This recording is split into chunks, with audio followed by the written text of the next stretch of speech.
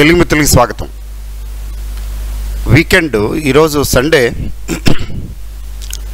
మళ్ళీ రేపటి నుంచి మార్కెట్లు మామూలే. మండే టు ఫ్రైడే మార్కెట్లు. అయితే ఈరోజు కరోనా కరోనా కరోనా ప్రపంచమంతా కరోనా అని కరోనా పీడితులు అయిపోయాయి కదా. కొంచెం కరోనా తాలూకు మార్కెట్ ఇంపాక్ట్ ఏమవుతుంది? Corona versus market. మార్కెట్ల భవితవ్యం ఎలా ఉండవచ్చు? అనే దాని గురించి కొంచెం మాట్లాడతాను. తర్వాత మార్కెట్. Corona versus market. ఆ తర్వాత ఎస్ బ్యాంకు. ఆ తర్వాత ఎస్బీఐ కార్డ్స్ ఐపీఓ. చాలామంది ఈ ఐపీఓ గురించి చెప్పండి. నేను చాలామందికి ఎలాట్ ఎలాట్ అయినాయి. అవ్వ అవ్వ అనుకున్నారు కానీ ఎందుకు అయినాయి అంటే మార్కెట్ అప్పుడు చాలా భయంకరమైన ఫాల్లో ఉంది. రిటైల్ ఇన్వెస్టర్స్కి చాలా వరకు అప్లై చేసిన వాళ్ళకి వచ్చేసాయి. అలాట్మెంట్లు వచ్చాయి. నేను బ్రీఫ్గా చెప్పకపోతే ఇది గంటలు పట్టేస్తుంది. గంటల ఉపన్యాసం అయిపోతుంది. ఫస్ట్ ఎస్బీఐ కార్డ్స్ ఐపీఓ గురించి మాట్లాడతాను. కట్టే కొట్టే తెచ్చేలాగా.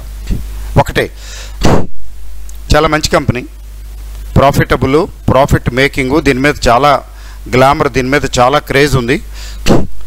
చాలా గుడ్ ఇంప్రెషన్ ఉంది మార్కెట్లో. అసలు స్టార్టింగ్లో అయితే గ్రే మార్కెట్లో చాలా ఎక్కువ ఉంది. అయితే ఇప్పుడు ఇప్పుడున్న మార్కెట్ సెంటిమెంట్ని బట్టి కండిషన్స్ బట్టి గ్రే మార్కెట్ తగ్గింది బాగా. అంటే ప్రీమియం తగ్గింది. అయితే రేపు మా రేపటి మార్కెట్ కొంచెం సజావుగా బాగానే ఉండే అవకాశం ఉంది. రేపు మార్కెట్ పడకపోవచ్చు. వంద రెండు వందల పాయింట్లు నా మూడు వందలు మరి పెరిగేటప్పుడు ఎంతంత పెరుగుద్దో మనం అంచనా వేయలేము. తగ్గేటప్పుడు ఎంత తగ్గుద్దో అంచనా వేయలేము. అది కాదు కానీ పాజిటివ్గా మార్కెట్ బాగానే ఉంటుందని విశ్లేషకులు చెప్తున్నారు. ఆ మేరకు తీసుకున్నట్లయితే రేపు దీని భవితవ్యం ఏంటి? ఫస్ట్ టైం వస్తుంది కదా కొటేషన్ దీని కొటేషన్ మార్కెట్లో ఎంటర్ అవుతున్నది కదా ఏం చేయాలి? ఉంచుకోమంటారా? అమ్మేయమంటారా? ఈ ప్రశ్నలు చాలామంది వేస్తున్నారు.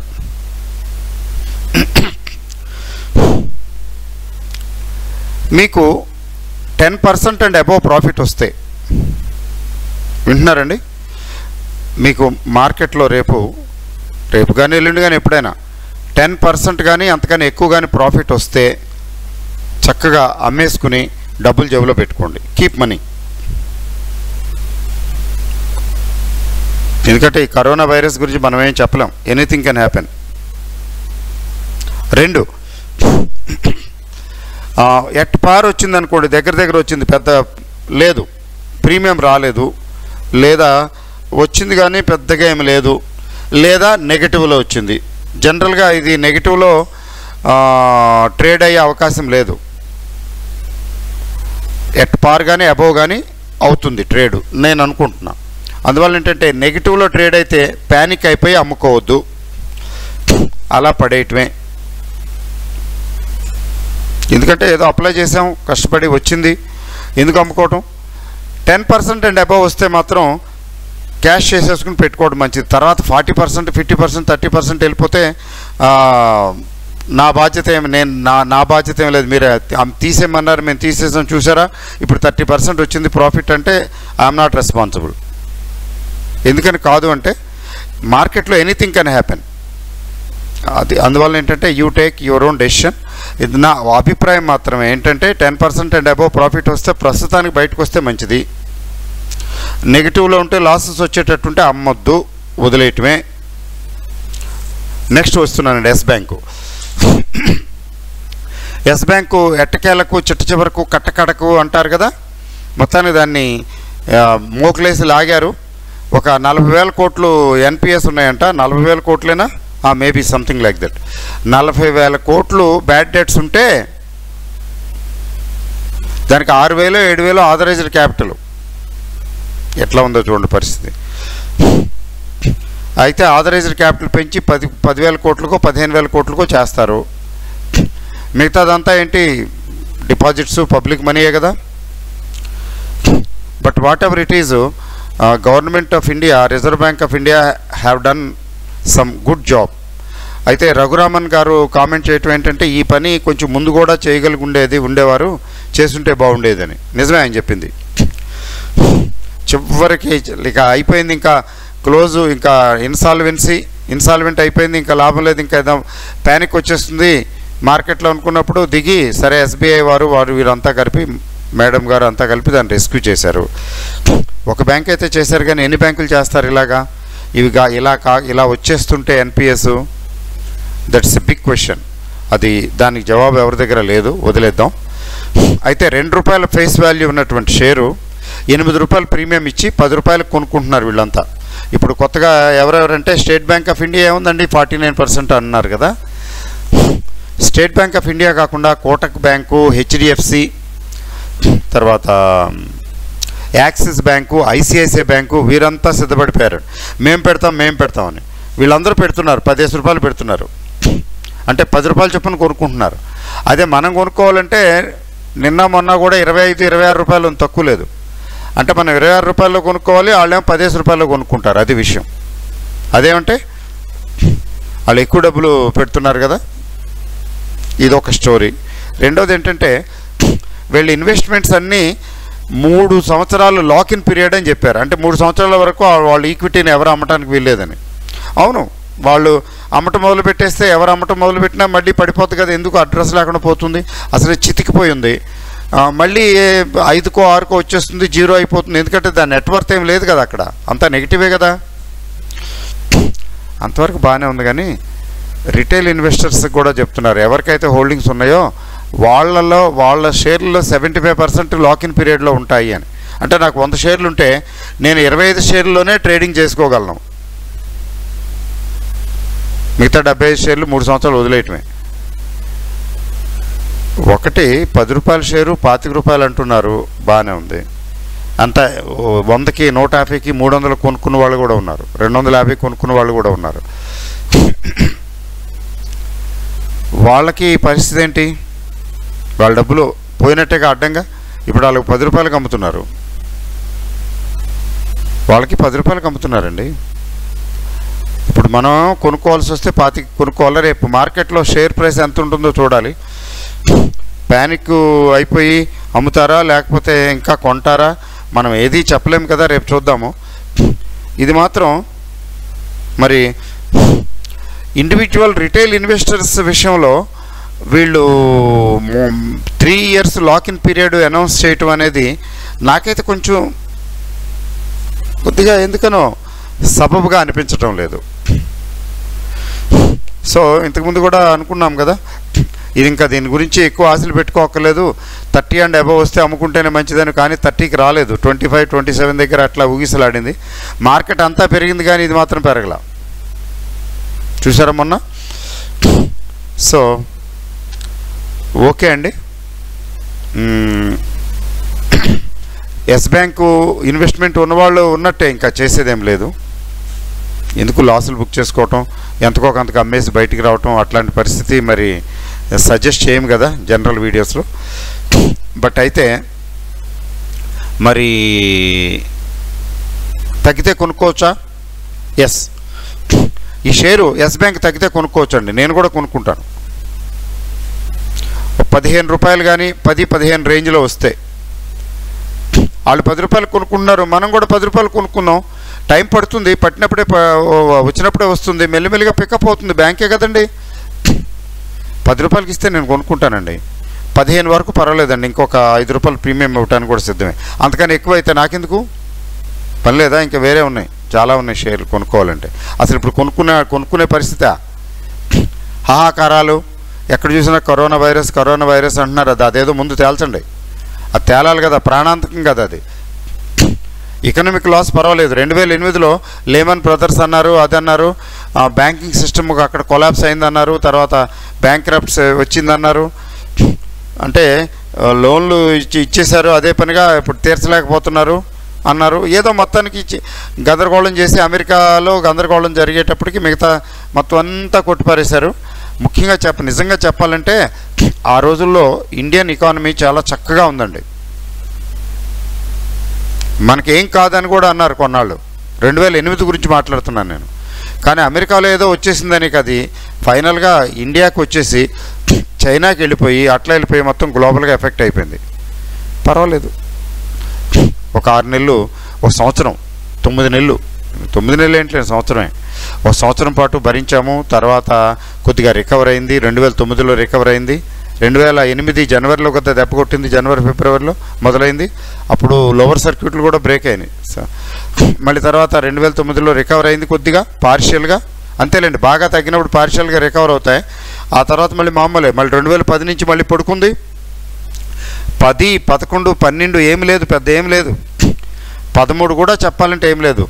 రెండు వేల పది నుంచి రెండు వేల పదమూడు వరకు పెద్ద ఏం లేదండి యాక్టివిటీ. అంటే ఇంప్రూవ్మెంట్ లేదు. కొంచెం అటు ఇటు ఇటు అటు. మరీ బాగా పడిపోయినవి కొద్దిగా రికవర్ అయినాయి తప్ప సిగ్నిఫికెంట్గా ఏమీ రాలేదు చేంజ్. అయితే రెండు వేల పద్నాలుగు మోదీ గారు వచ్చారు కదా? మోదీ గారు ప్రైమ్ మినిస్టర్ అయ్యేటప్పటికి మళ్ళీ ఊతం వచ్చింది. రెండు వేల పద్నాలుగులో వచ్చిందండి. రెండు వేల పద్నాలుగు వచ్చింది కానీ అది యుఫోరియా కదా అది నిలవల. రెండు వేల పదిహేనులో మంచి కొంచెం కరెక్షన్ వచ్చింది. ఫైనల్గా పదహారు నుంచి అందుకుంది. పదహారు పదిహేడు చక్కగా అందుకుని పద్దెనిమిదికి వచ్చేటప్పటికి మళ్ళీ కొంచెం కరెక్షన్స్ మొదలయ్యాయి. పద్దెనిమిది నుంచి పంతొమ్మిది ఇంప్రూవ్ అయింది కొంచెం పర్వాలేదు. మళ్ళీ పులి మీద పుట్టలాగా ఇరవై వచ్చేసింది అటప్పటికి అక్కడ నిలవటం లేదు. పెరిగింది. టోటల్గా ఇప్పటివరకు పెరిగింది త్రీ టైమ్స్ ఎంతో ఉంది. త్రీ ఫోర్ టైమ్స్ అనుకుందాం. ఏది? రెండు వేల ఎనిమిది నుంచి పది సంవత్సరాల్లో. మళ్ళీ మొదలుపెట్టి పడిపోతుంటే కొంచెం బాధగా ఉంటుంది. కానీ everything takes care of itself మన చేతిలో ఏముండదు కదా? అందువలన మార్కెట్కి ఏ అటు ఇటు అడ్డు ఆపు ఏముండదు తన ఇష్టం. ఇప్పుడు మన పరిస్థితి ఏంటి? ఇట్లాంటి మార్కెట్లో ఎస్ బ్యాంకే ఎందుకు కొనుక్కుంటాను నేను? అసలు ఎందుకు కొనుక్కుంటాను? అవసరమైతే డబ్బులు దగ్గర పెట్టుకుని చూసుకుంటా. అసలు నాకు రెండు మూడు రోజుల నుంచి నాలుగు రోజుల నుంచి చాలా సీరియస్గా ఒక విషయం ఆలోచిస్తున్నాను. కరోనా వైరస్ కంటే ఎక్కువ. ఏంటి ఆలోచిస్తున్నానంటే గోల్డ్ ఎందుకు తగ్గుతున్నది? నలభై నాలుగు వేలు చిల్లరకి నలభై ఐదు వేలు దగ్గర దగ్గరికి వెళ్ళినట్టు వెళ్ళి నలభై వేలు చిల్లరకి ఎందుకు వచ్చింది? టెన్ పర్సెంట్ గోల్డ్ ఎందుకు తగ్గింది? ఇలాంటి పరిస్థితుల్లో డాలరు పెరగటం లేదు. మీకు ఆయిల్ ఆయిల్ పోయింది. ఆయిల్ పోయింది కదండి. ఇక oil supplying oil producing countries తాలూకు ఎకానమీ ఫటాఫట్. ఇప్పుడు ఇది ఇరవై ముప్పై మధ్యన ట్రేడ్ అయితే బ్యారెలు ఇరవై ముప్పై ముప్పై మధ్యన ట్రేడ్ అయితే వన్ ఇయర్ ట్రేడ్ అయితే చాలు. మ్యాక్సిమం కంట్రీస్ యావరేజ్గా మిడియోకర్గా ఉన్నటువంటి డెవలపింగ్ కంట్రీస్ జీరో అయిపోతాయి. అతలాకుతలం అయిపోతాయి. వాళ్ళకి కరువు అకాలం మీద అంటారు అట్లాంటివి వచ్చేస్తాయి. వెనిజులా లాంటి కంట్రీలు తీసుకున్నట్లయితే. వాళ్ళంతా ఆయిల్ ప్రొడ్యూస్ చేయటం అమ్మటం. వస్తే రావటం లేకపోతే లేదు. ఇప్పుడేంటి పరిస్థితి? మరి ఇవన్నీ తగ్గినప్పుడు జనరల్గా ఏమవుతుంది? గోల్డ్ మీద పెడతారు. గోల్డ్ పెరగాలి కదా? అదేంటి గోల్డ్ కూడా పెరగట్లేదేంటి? గోల్డ్ తగ్గుతున్నదేంటి? నలభై వేల చిల్లరకు వచ్చేసిందేంటి ఇట్స్ ఎ బిగ్ ఇష్యూ. నేను చూస్తున్నాను. రీసెర్చ్ చేస్తున్నాను అని చెప్పడం కంటే కూడా నేను స్టడీ చేస్తున్నాను. ఏంటి? ఇట్లా ఎప్పుడైనా జరిగిందా? ఇట్లా జరిగితే దాని ఇంపాక్ట్ ఏంటి? దాని మీనింగ్ ఏంటి? అర్థం ఏంటని. నాకు ఒక ఎనాలిసిస్లో ఒక పాయింట్ ఏంటి తేలిందంటే అంటే దానికంటే కరెన్సీనే ప్రిఫరెన్స్ ఇస్తున్నారా? డబ్బులు ఉంటే చాలు డబ్బులు నాకు గోల్డ్ ఎందుకని? అంటే ప్రతిదీ చౌకగా అది ఎప్పుడవుతుందంటే ఎకనామిక్ డిప్రెషన్లో జరుగుతుంది. రిసెషన్లో కూడా జరగదండి. రిసెషన్కి ఎకనామిక్ డిప్రెషన్కి చాలా తేడా ఉంది. అదే పనిగా వస్తు సేవల వినియోగం తగ్గిపోయి తగ్గిపోయి ఎవరు కొనుక్కునేవాళ్ళు లేరు ఇచ్చేవాళ్ళు లేరు అన్ఎంప్లాయ్మెంట్ ప్రాబ్లమ్ ఉద్యోగాలు ఊడిపోవటం మెయిన్ అన్ఎంప్లాయ్మెంట్ ప్రాబ్లం ఉద్యోగాలు ఊడిపోవటం. ఉద్యోగాలు ఊడిపోతే ప్రతి ఒక్కరికి ఫైనాన్షియల్ ఇష్యూస్ వచ్చేస్తాయి కదా. ఎప్పుడైతే ఫైనాన్షియల్ ఇష్యూస్ వచ్చేస్తాయో డిమాండ్ సప్లై డిమాండ్ తగ్గిపోతుంది. గూడ్స్ సర్వీసెస్కి డిమాండ్ తగ్గిపోతుంది ప్రొడక్షన్ తగ్గిపోతుంది ఫ్యాక్టరీలు బంద్ అయిపోతాయి. ఇప్పుడు చూడండి ఇంటర్నేషనల్ ట్రావెల్ నో అంటున్నారు. ఇంటర్నేషనల్ ట్రావెల్ నో అంటే తుప్పట్టేస్తాయి ఈ ఎయిర్ ఎయిర్ క్రాఫ్ట్స్ అన్నిటికీ. నంబర్ ఆఫ్ ఎయిర్ క్రాఫ్ట్స్ ఈ ఎయిర్ ఎయిర్లైనర్స్ అసలే ఎయిర్ ఇండియా అమ్మేద్దామని చూస్తుంటే గవర్నమెంట్ ఆఫ్ ఇండియా అసలుకు మోసం వచ్చింది. తుప్పు పడతాయండి. రోజు మెయింటెనెన్స్ అవి ఆయిల్ రాసి అయి రాసి ఏదో ఆ పూత పోసి ఈ పూత పోసి దాన్ని మెయింటైన్ చేయాలి. ట్రాన్స్పోర్ట్ కూడా ఏమైనా లోకల్ ట్రాన్స్పోర్ట్స్ ఎఫెక్ట్ అయితే అవి అంతే. ఎన్నో లక్షల టికెట్లు రైల్వేకి క్యాన్సిల్ చేసుకున్నారట రిజర్వేషన్స్. అది ఎవరో చెప్తున్నారు. మరి వాటి వల్ల అన్ఎంప్లాయ్మెంట్ పోతుంది కదా స్కూల్స్ బంద్ చేసి అవి బంద్ చేసింది బై బంద్ చేసి? అంటే ఎకనామిక్ డిప్రెషన్ వస్తే ఎలా ఉంటుందంటే there is no buyer there is no money with anybody జనాల దగ్గర డబ్బులు ఉండవు. ఏది కొనరు. డబ్బులు లేకపోతే ఏం కొంటాం? డబ్బులుంటే డబ్బులు లేకపోతే ఏం చేస్తాం? పోస్ట్ పోన్ చేస్తాం. ఓన్లీ ఎసెన్షియల్ ఐటమ్స్ మీద ఏదో చా రా బియ్యం కూరగాయలు అంటారు చూసారా? వాటి మీద పెడతాం అంతే పెట్టుబడి. అప్పుడు ఇప్పుడు పది రూపాయలు అమ్మే వస్తువు ఐదు రూపాయలకు కూడా ఇస్తానంటే నా దగ్గర డబ్బులు ఇవ్వ ఎలవా అంటారు. నీ ఎంత ఉంటే అంత ఇచ్చి తీసుకెళ్ళవా అంటారు అప్పుడు. ఎకనామిక్ డిప్రెషన్ మనం చూడలేదు కదా? చదువుకో చదువుకోవటమే. నేను చూడలేదు కదా. మీరు చూడలేదు. నా అరవై ఏళ్ళ వయసులో నేను చూడలేదు. ఎందుకంటే సెకండ్ వరల్డ్ వార్లో వచ్చింది. ఫస్ట్ వరల్డ్ వార్ ఎవరికి సరిగ్గా గుర్తులేదు. సెకండ్ వరల్డ్ వార్ బాగా గుర్తుంది. ఆ సెకండ్ వరల్డ్ వార్ వచ్చినప్పుడు డిప్రెషన్ వచ్చింది. డిప్రెషన్ వచ్చినప్పుడు డిప్రెషన్ తర్వాత తర్వాత ఫాలోడ్ బై ఇన్ఫ్లేషను. ఆ డిప్రెషన్లో ఎవరి దగ్గర డబ్బులు లేవు? అంటే ప్రొడ్యూసర్స్ ఫ్యాక్టరీలు బంద్ చేసేయటమే. ఇంటికి వెళ్ళిపోండి అని చెప్తారు. అనే ఎంప్లాయ్మెంట్ ఎంప్లాయ్మెంట్ ఉండదు. మీకు నిన్ను నిన్ను తీసేస్తున్నాను పనిలోంచి నేను తీసేస్తున్నాను అంటారు. అప్పుడంటే మరి ఉద్యోగాలు చదువుకుని క్వాలిఫికేషన్స్ అన్నీ ఉన్నవాళ్ళు కూడా ఏంటంటే బ్యాక్ టు పెవిలియన్ లాగా వాళ్ళ ఊళ్ళు ఉంటే వాళ్ళ ఊళ్ళకి వెళ్ళిపోతారు పల్లెటూళ్ళు అయితే. ఏ వ్యవసాయమే చేసుకుందాం భూమిని దున్నుకుందామని అంతకన్నా పని ఉండదు. లైఫ్ స్టైల్ కథం. అది ఎకనామిక్ డిప్రెషన్ అంటే. ఎకనామిక్ డిప్రెషన్లో ఏమవుతుందంటే కరెన్సీకి ఉన్న వాల్యూ ఆ వాల్యూయే ఆ వంద రూపాయల నోటుకి ఉన్న వాల్యూ వంద రూపాయలే. ఇప్పుడు ఇప్పుడు వంద రూపాయలకి దొరికే వస్తువు అప్పుడు యాభైకి నలభైకే దొరుకుతుంది. అంటే మనీ ఇన్ఫ్లేషన్లో డెప్రిసియేట్ అవుతుంది. కరెన్సీ ఎప్పుడు కూడా ఇన్ఫ్లేషన్లో డెప్రిషియేట్ అవుతుంది. వాల్యూ దాని కరెన్సీ వాల్యూ తగ్గిపోతుంది. వస్తు సేవల ద- ధరలు పెరుగుతుంటాయి. అదే డిప్రెషన్లో ఆపోజిట్ అవుతుంది. వస్తు సేవల ధరలో భయంకరంగా తగ్గిపోతాయి. వాటికి డిమాండ్ ఉండదు. కొనేవాళ్ళు తీసుకునే వాళ్ళు ఉండరు. ఎంతకో కొంతకి తీసుకో అంటారు అక్కడ ఇంతకుముందు వంద రూపాయలకి దొరకని వస్తువు ఇప్పుడు యాభై రూపాయలకి అరవై రూపాయలకే దొరికేస్తుంది. అలాంటిదేం కాదు కదా. నాకు రెండు రోజుల నుంచి అదే ఆ పనిగా ఆలోచిస్తున్నాను. భయం వేస్తున్నది ఏంటని? ఎకనామిక్ డిప్రెషన్ ఎక్స్పెక్ట్ చేస్తున్నారా? పెద్ద పెద్ద డబ్బున్న వాళ్ళంతా? ఎందుకంటే పెద్ద పెద్ద డబ్బున్న వాళ్ళు వాళ్ళ ఆలోచన విధానం వేరుగా ఉంటుంది. బాగా ఎక్కువ రిసోర్సెస్ ఉన్నవాళ్ళు. అంటే గోల్డ్ నుంచి కూడా డబ్బులు తీసేస్తుంది తీసేసి అంటే ఎక్కడ ఎందులో పెడుతున్నారు? క్యాష్ అనే కదా? క్యాష్లో ఉంచుకుందామని ఆలోచన ఎప్పుడు వస్తుందంటే క్యాషే కావాలి నాకని ఎప్పుడు వస్తుందంటే ఆలోచన? ఎకనామిక్ డిప్రెషన్లో డీప్ డిప్రెషన్లో వస్తుంది.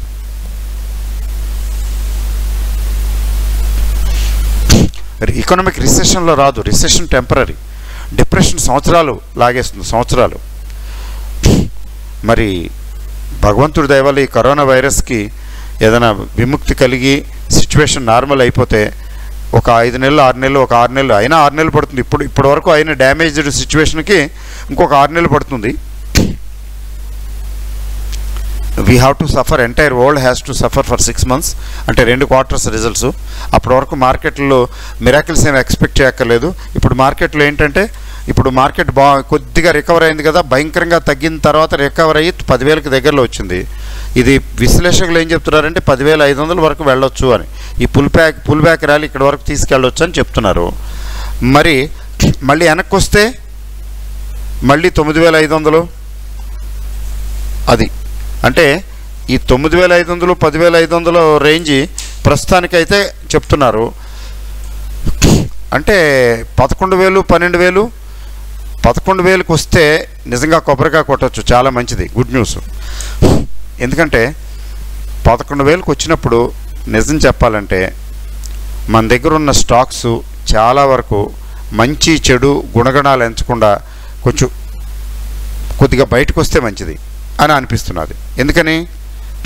అక్కడ పదకొండు వేల దగ్గర నిలబడి నిలబడడానికి తగినటువంటి స్ట్రెంగ్త్ లేనే లేదు. ఏదో యుఫోరియాలో పెరిగితే సరిపోదు.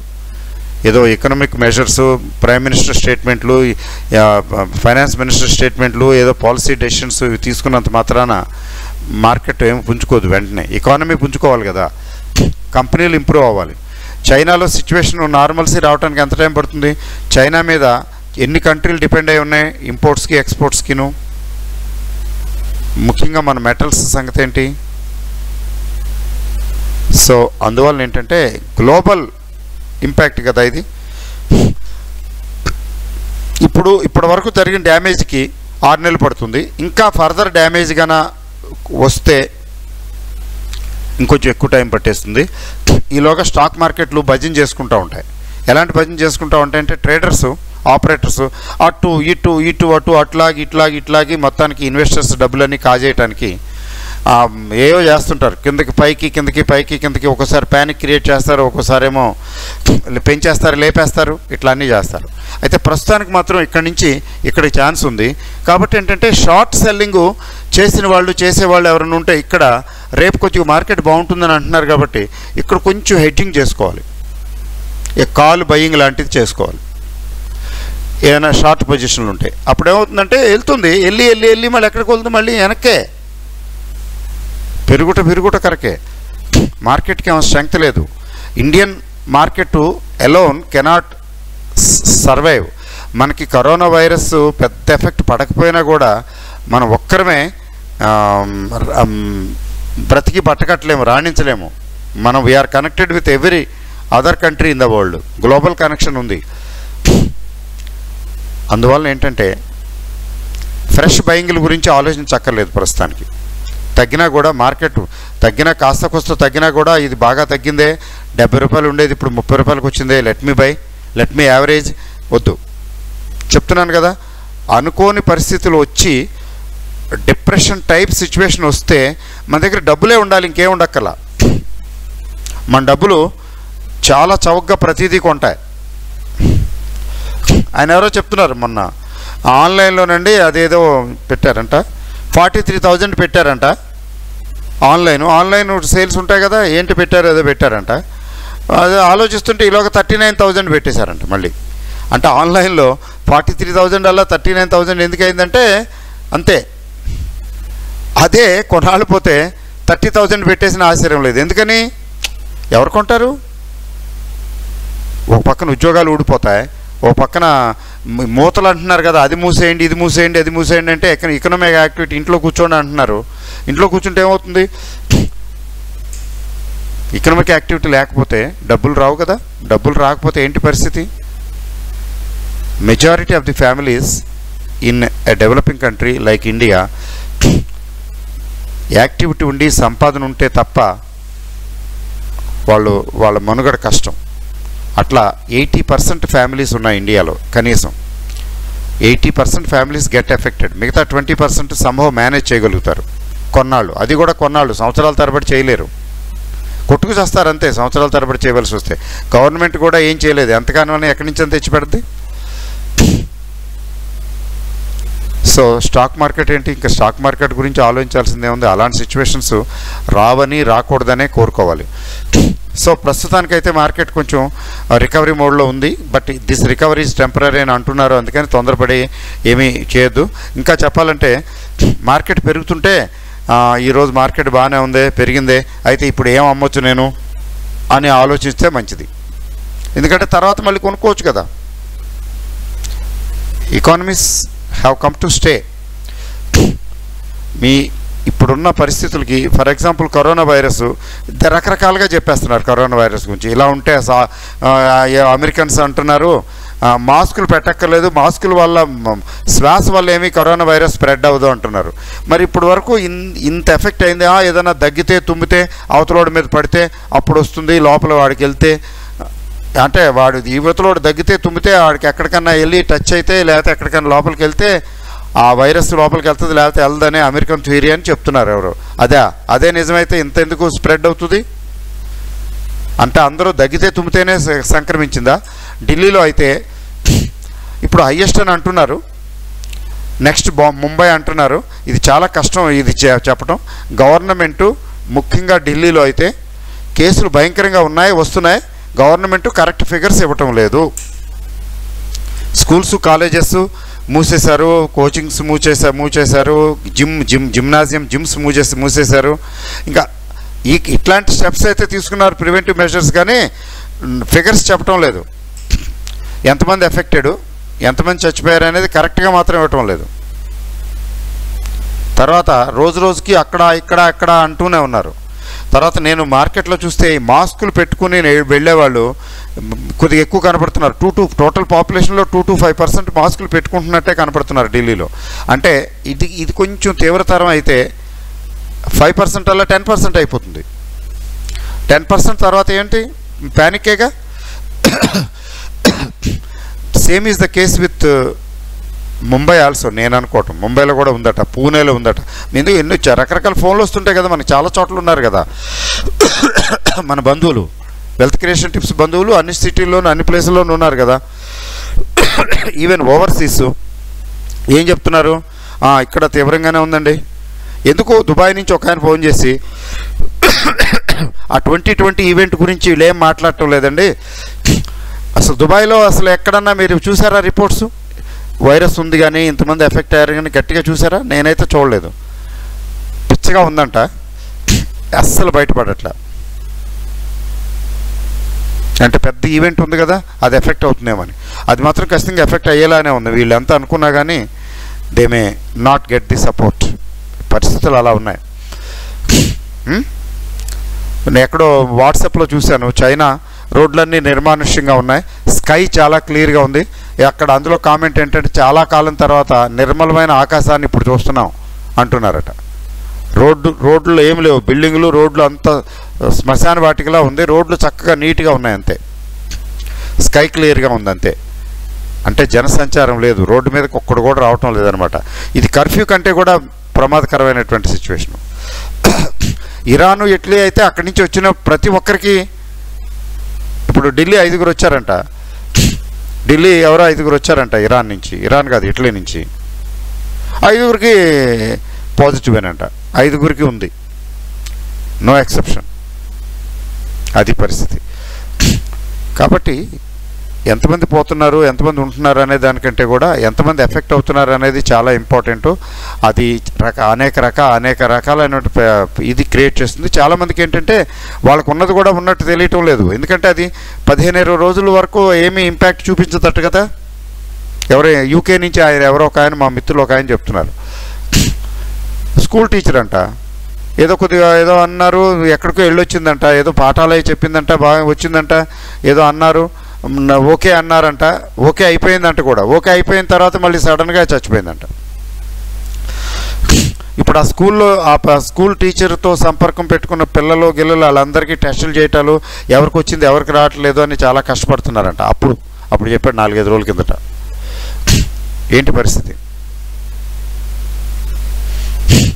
సో అలాంటి సిచ్యువేషన్ ఏంటంటే ఏదో third world war undeclared third world వార్లా ఉంది ఇదంతా. వరల్డ్ వార్ వస్తే ఎలా జన నష్టం వస్తుందో ఎలాంటి ఆస్తుల నష్టాలు వస్తాయో ఇండైరెక్ట్గా ఎకనామిక్ యాక్టివిటీ లేకపోతే అది నష్టమే. యాక్టివిటీ లేదు పని లేదు సంపాదన లేదు. పని సంపాదన లేకపోతే తిండి లేదు. తిండి లేకపోతే లైఫే లేదు సివిలైజేషనే లేదు లైఫ్ లేదు లైఫ్ స్టైల్ లైఫ్ స్టైల్ పక్కన పెట్టండి. లైఫే ఉండదు. సో ఇవన్నీ సిచ్యువేషన్స్ ఒక పక్క స్టాక్ మార్కెట్లో ఒక పక్క. స్టాక్ మార్కెట్లు ఇవి ఎప్పటికప్పుడు ముందుగానే అడ్వాన్స్గానే డిస్కౌంట్ చేసేస్తాయి. అందుకని భయంకరంగా పడి పడిపోయే స్టాక్ మార్కెట్లే ఈ మధ్యకాలంలో ఒక ఫేజ్ అయిపోయింది. రెండో ఫేజ్ చిన్నగా రికవర్ అయ్యి ఆ తర్వాత కరోనా వైరస్కి సంబంధించి పాజిటివ్ న్యూస్ వరుస వరుసగా వస్తూ ఉంటే ఈలోగా మార్కెట్లు స్టేబులైజ్ అవుతాయి. ఎందుకంటే అడ్వాన్స్గా డిస్కౌంట్ చేస్తాయి కదా ఫ్యాక్టరీని స్టెబిలైజ్ అవుతాయి. కొంచెం పైకి అక్కడ ఉంటాయి. కానీ యాక్చువల్గా మళ్ళీ కంపెనీల రిజల్ట్స్ ఏ వచ్చేటప్పటికి అంతా బోల్తా పడి ఉంటాయి కదా కంపెనీ రిజల్ట్స్ ఏముంటాయి ఉంటాయి? ఇప్పుడు బ్రిటానియా గొప్ప కంపెనీయే చాలా బాగా చెప్పుకున్నాం. ఆ బ్రిటానియా బిస్కెట్లు ఎవరు కొని తింటారండి? తగ్గిపోదా సేలు? అసలు మనుషులు బయటికే రాకపోతే బిస్కెట్లు ఎందుకు తింటారు? గ్యారంటీ ఏంటి? ఎస్సెన్షియల్ బిస్కెట్లు మంచి పాపులర్ కంపెనీ. పాపులరే. పిడిలైట్ ఇండస్ట్రీస్ గొప్ప కంపెనీయే. ఎవరు తీ ఎవరుంటారు? హెచ్డిఎఫ్సి ఫైనాన్సింగ్ కంపెనీ గొప్ప కంపెనీ. ఎవరు వస్తారు లోన్కి? అప్పు హౌస్ కొనుక్కోవడానికి లోన్కి ఎవరు వెళ్తారు? ఎవరు వెళ్తారు హౌస్ హెచ్డిఎఫ్సి దగ్గరికి? ఫైనాన్సింగ్లో బజాజ్ ఫైనాన్స్ మంచి కంపెనీయే. బజాజ్ ఫినా ఫిన్ సర్వీసెస్ కూడా మంచి కంపెనీయే. ఎవరు వెళ్తారో ఆ లోన్ తీసుకోవడానికి? ఒకవేళ అట్లాంటి ప- డిప్రెషన్ సిచ్యువేషన్ లాంటివి వస్తే నిజంగా వీళ్ళు లోన్ ఇస్తే వాళ్ళు తీసుకుంటే తీసుకోరు మాకొద్దు బాబు మా దగ్గర ఏం చేస్తాం లోన్ తీసుకుని అంటారు. ఎకనామిక్ డిప్రెషన్లో ఏంటంటే మీరు లోన్ ఇస్తానన్నా తీసుకునే వాళ్ళు ఉండరు. ఒక స్టేజ్లో మాకెందుకు ఎందుకు ఏం చేస్తాం ఇప్పుడు? ఆ డబ్బులు ఏం చేయాలి? మేము ఏం చేసి డబ్బులు మీకు సంపాదించి మళ్ళీ అప్పులు కట్టాలి వడ్డీలు కట్టాలి అవి అయ్యే పని కాదంటారు. వద్దులే అంటారు. ఒకవేళ బజాజ్ ఫిన్ సర్వీసెస్ లాంటి కంపెనీలు మంచివే. ఇప్పుడు వాళ్ళు అప్పించినా తిరిగి వస్తాయి వాళ్ళకి డబ్బులు? అసలు తీసుకున్న వాళ్ళు దొరుకుతారా? అట్లాంటి సిచ్యువేషన్స్ వస్తాయి ఎకనామిక్ డిప్రెషన్లో సరే అందువల్ల ఏంటంటే మనం ఎక్కువ ఎకనామిక్ డిప్రెషన్ వైపు వెళ్ళటం లేదు అని అనుకోవాలి. వెళుతున్నాం అనుకుంటే రాత్రులు నిద్రపట్టే అవకాశం లేదు. దానికంటే ముందుగా ఏంటంటే మనం కొంచెం జాగ్రత్తగా ఏంటంటే డబ్బుల్ని సేవ్ చేసుకుని కన్జర్వ్ చేసి పెట్టుకోవటమే తప్ప గబుకుని అది కొనేసి ఇది కొనేసి ఏదో కొనేసి డబ్బులన్నీ ఇప్పుడు స్టా క్యాష్ పొజిషన్ బాగోలేదు. క్యాష్ షార్టేజీ అలాంటి సిచ్యువేషన్స్ రాకుండా జాగ్రత్త పడటమే. ఎందుకంటే ఎకనామిక్ డిప్రెషన్లో ఈవెన్ రియల్ ఎస్టేట్స్ కూడా పడుకుంటాయి. గోల్డ్ చెప్పక్కలా గోల్డ్ ఆల్రెడీ స్టార్ట్ అయిపోయింది. చూడండి జోకు గోల్డే నిలబడటం లేదు. గోల్డ్ నిలబడినప్పుడు రియల్ ఎస్టేట్ ఎక్కడ నిలబడుతుంది?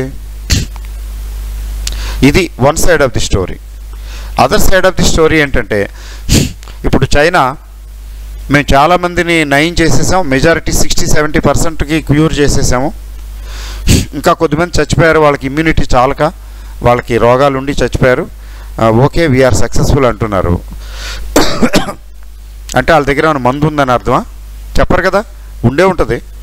వన్ ఫైవ్ డే వాళ్ళు సరే మేము కావాలంటే మా దగ్గర మందులోనే అమ్ముతాం అన్నారనుకోండి. ఎంత అయితే అంత బాబు ఇవ్వు బాబు అని ఆయన వచ్చారనుకోండి వాడు వ్యాపారం చేసుకుంటాడు. పనులు చేసుకుంటే చేసుకున్నాడు. మందు బాబు అంటాం కదా. మందు తీసుకున్నాం అనుకోండి. మందు ఇస్తానికి సిద్ధపడ్డాడు అనుకోండి. ఇచ్చాడు అనుకోండి.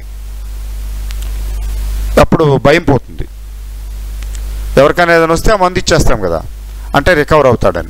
హీజ్ అంత అట్లా. ఈ రికవర్ అవ్వని మందు ఆడేలా అమ్ముతాడు మనం ఎలా తీసుకుంటాము. అప్పుడు రికవరీ స్టార్ట్ అయిపోతుంది. కొంచెం ఫాస్ట్గానే రికవరీ స్టార్ట్ అయిపోతుంది. మన స్టాక్ మార్కెట్లు కూడా మళ్ళీ ఫటాఫట ఫటాఫట పికప్ అవుతాయి. పికప్ అవుతాయంటే ఏదో గబుక్కుని వెళ్ళిపోతాయని కాదు. ఇమీడియట్గా కొన్నాళ్ళు పికప్ అవుతాయి మళ్ళీ కొన్నాళ్ళ తర్వాత మళ్ళీ రిజల్ట్స్ తర్వాత కొంచెం కరెక్షన్ వస్తుంది.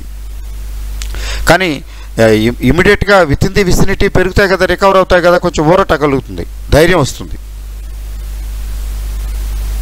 ఓకే. కరోనా వైరస్ నుంచి ముక్తి పొందినట్టే. ఎందుకంటే దానికి మందు వచ్చింది తర్వాత దానికి ఇలాజ్ ఉంది అంటే దానికి ట్రీట్మెంట్ ఉంది.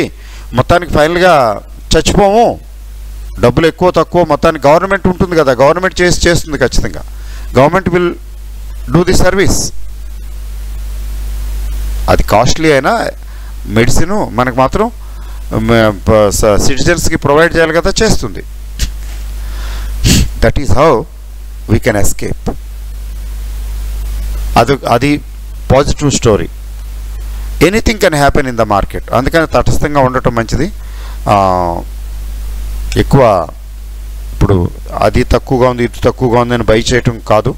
ఎందుకంటే ఇప్పుడున్న పరిస్థితి ఇంకొక పదిహేను ఇరవై రోజుల్లో ఇలా ఉన్న లేదా కొత్త కేసెస్ రిపోర్ట్ అయితే రిపోర్టింగ్ రిపోర్టెడ్ కేసెస్ పెరుగుతూ ఉంటే ఇప్పటికీ పెరుగుతున్నాయి. గవర్నమెంట్లు చాలా వరకు ఇండియన్ గవర్నమెంటే కాదు చాలా గవర్నమెంట్లు ఇప్పటికే సప్రెస్ చేస్తున్నాయి.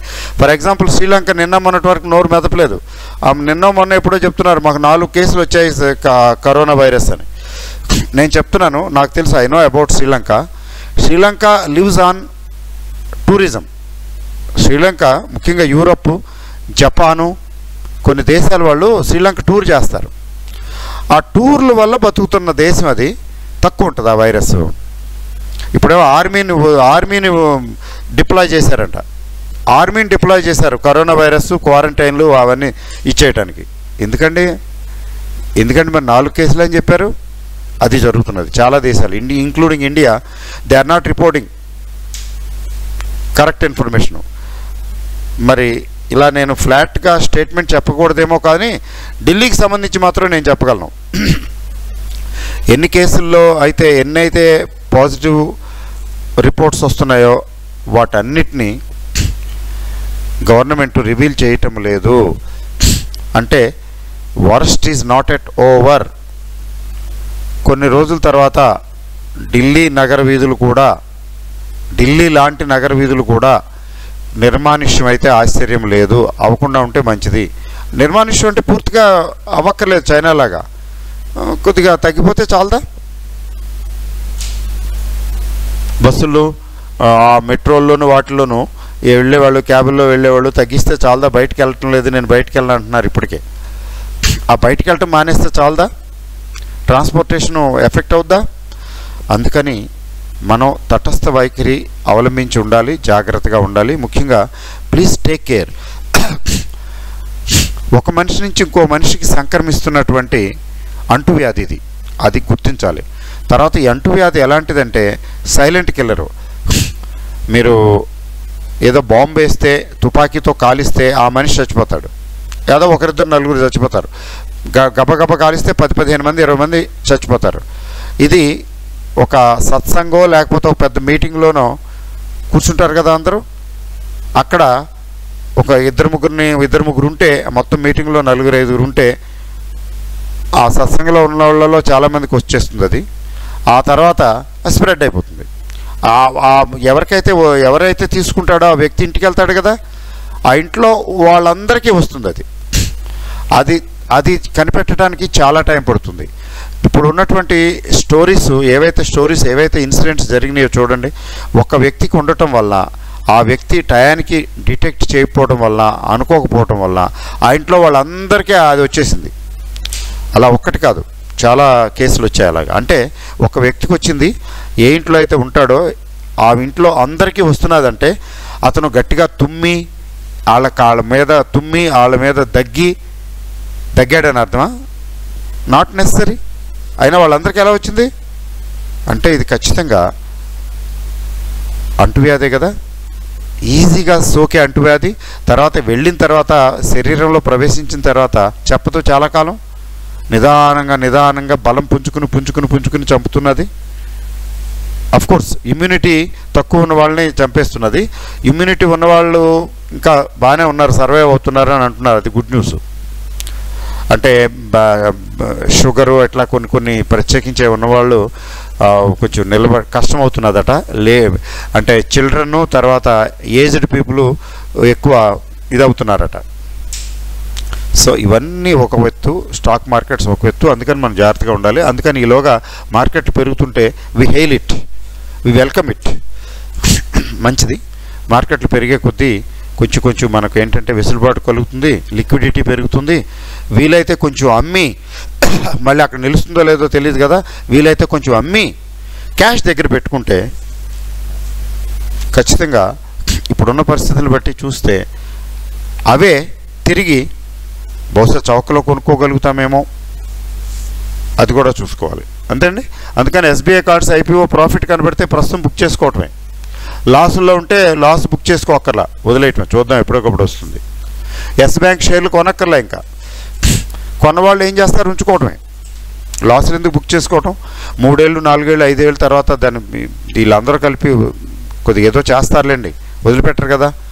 ఈసారి జాగ్రత్తగా ఉంటారు చక్కగా మేనేజ్ చేస్తారు. త్రీ ఇయర్స్ లాకిన్ పీరియడ్కి సిద్ధపడిపోవాలి. కొత్తగా ఎంటర్ అవ్వడానికి మాత్రం నేను కూడా ఎంటర్ అవ్వాలని అనుకుంటున్నా కొత్తగా. పది పదిహేను రేంజ్కి వస్తే మాత్రం అప్పుడు పర్వాలేదు. వాళ్ళు పది రూపాయలు పెట్టి అంతంత డబ్బులు పెట్టి పది రూపాయలు పెట్టి కొనుక్కోవడానికి సిద్ధంగా ఉంటే నేను పది రూపాయలు పెట్టి కొనుక్కోవడానికి నాకేంటి భయం? Why should I be afraid of అది. అంతేగాని పది పదిహేను కంటే ఎక్కువైతే నాకెందుకు? మూడేళ్ళు లాకిన్ పీరియడ్ అంట seventy five percent. Retail investors మీద ఇలాంటి మోరటేరియం అంటే ఇలాంటి ఆంక్షలు విధించడం అది మాత్రం కరెక్ట్ కాదు. ఎట్లా అంటే పెట్రోలు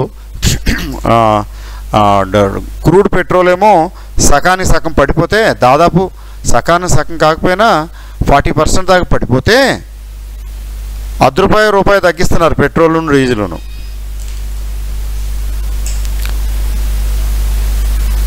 క్రూడ్ ధర ఫార్టీ పర్సెంట్ తగ్గితే వీళ్ళేంటి ఒక ఫైవ్ పర్సెంటో టెన్ పర్సెంటో తగ్గిస్తున్నారండి గవర్నమెంటు. అంటే పబ్లిక్కి ఆ బెనిఫిట్ ఇవ్వటం లేదు కదా ట్యాక్స్లు అంట. ఎక్సైజ్ డ్యూటీ వేసేసామండి అదండి ఇదండి అంటున్నారు. అది దారుణం. సరే మనం కామెంట్ చేసే ప్రయోజనం లేదనుకోండి. So wish you all the best let us see what happens tomorrow and day after tomorrow ఈ వీక్ ఎలా ఉంటుందో తెలియదు బట్ ఓవరాల్గా కొంచెం రికవర్ అవుతాయని అంటున్నారు. రికవర్ అవ్వకపోతే మనం చేయగలిగింది ఏం లేదు. రికవర్ అయితే మనకి కొంచెం సెల్లింగ్ ఆపర్చునిటీ వచ్చిందని అర్థం చేసుకోవాలి. ఓకే అయితే షార్ట్ సెల్లింగ్ చేసిన వాళ్ళు మాత్రం కొంచెం హెడ్జింగ్ చేసుకుని కొంచెం యాడ్ చేసుకునే కాల్స్ కొనుక్కుని హెడ్జింగ్ చేసుకుని ఉంటే కొంచెం కొంచెం పీక్ వెళ్ళిన తర్వాత మళ్ళీ అక్కడ కొంచెం వెసులుబాటు కలుగుతుంది. మళ్ళీ వెనక్కి వచ్చినప్పుడు చేసుకోవచ్చు కవర్ చేసుకోవచ్చు. అంతేగాని భయపడవలసింది ఏం లేదు. Okay all the best thank you very much